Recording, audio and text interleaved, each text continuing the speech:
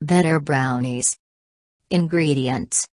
Half cup vegetable oil, 1 cup white sugar, 1 teaspoon vanilla extract, 2 eggs, half cup all purpose flour, 1 3rd cup unsweetened cocoa powder, 1 4th teaspoon baking powder, 1 4th teaspoon salt, half cup chopped walnuts, optional.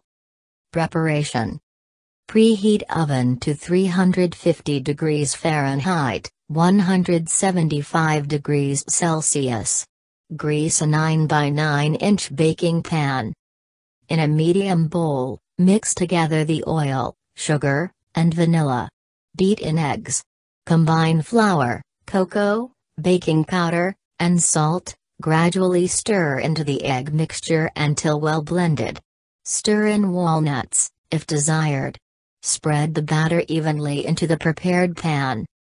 Bake for 20 to 25 minutes, or until the brownie begins to pull away from edges of pan. Let cool on a wire rack before cutting into squares.